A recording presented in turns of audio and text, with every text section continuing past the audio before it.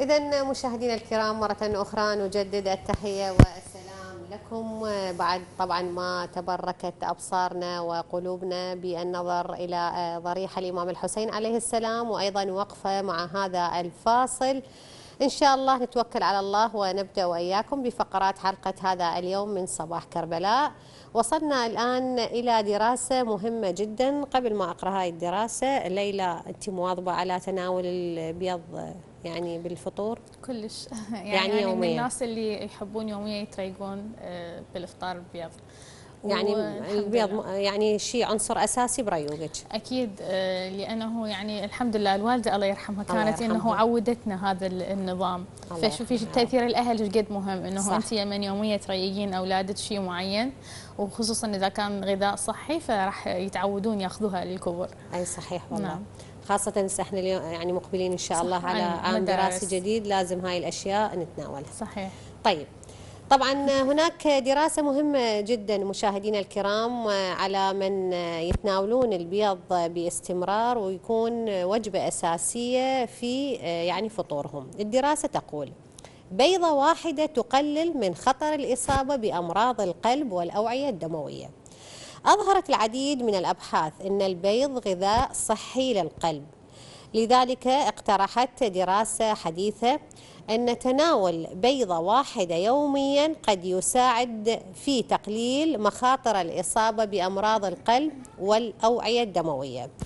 فقد كشفت دراسة صينية منشور في إي لايف أن الاستهلاك المعتدل للبيض يمكن أن يزيد من كمية الأيضات الصحية للقلب في الدم. وعلى الرغم من أن البيض يحتوي على مجموعة متنوعة من العناصر الغذائية الأساسية إلا أنه يعد أيضا مصدرا غنيا للكوليسترول الغذائي. وهذه النقطة موضوع آه، نقاش متكرر بين الباحثين حول ما إذا كان استهلاك البيض مفيدا أم سيئا للقلب. وفي هذا الشأن بدأت مجموعة من الباحثين من جامعة بكين في الصين دراسة. العلاقة بين استهلاك البيض وخطر الإصابة بأمراض القلب والأوعية الدموية والدور الذي يلعبه استقلاب الكوليسترول في البلازما.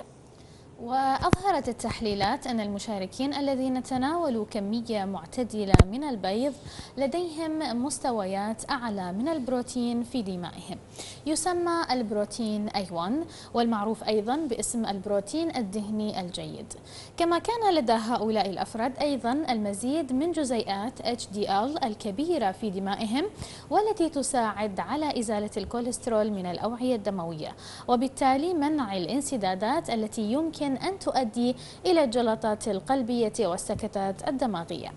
إضافة إلى ذلك حدد الباحثون 14 من المستقبلات المرتبطة بأمراض القلب وقالوا إن المشاركين الذين تناولوا عددا أقل من البيض كانت لديهم مستويات أقل في المستقلبات المفيدة ومستويات أعلى من تلك الضارة في دمائهم. مقارنة بمن تناولوا البيض بشكل أكثر انتظاما. وبناء على النتائج التي توصلوا إليها خلص الفريق إلى أن تناول كمية معتدلة من البيض.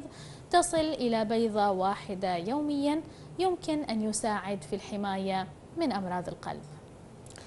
إذا يعني اليوم حتى ما يتناولون البيض وما يكون عنصر أساسي في فطورهم. إن شاء الله بعد هذه الدراسة يكون البيض عنصر أساسي في فطورهم لما يحتويه من عناصر غذائية وقيمة غذائية مهمة. ومثل ما قلنا إن شاء الله إحنا مقبلين على عام دراسي جديد. يجب أن يكون البيض يعني عنصر أساسي في فطور أطفالنا.